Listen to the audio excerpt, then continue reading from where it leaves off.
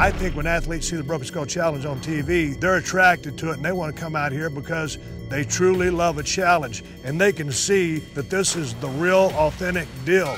There ain't no BS, there ain't nothing shiny about it, there ain't no soap opera, and you are either effective and you go on or you're ineffective and you go home.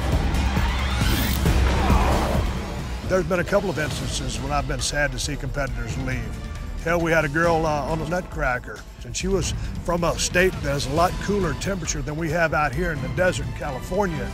And that heat got to her. She was frustrated and she just toppled over. We had to bring in the medics. When I run this show, I am impartial. I have no favorites. I treat everybody the exact same. Hold it!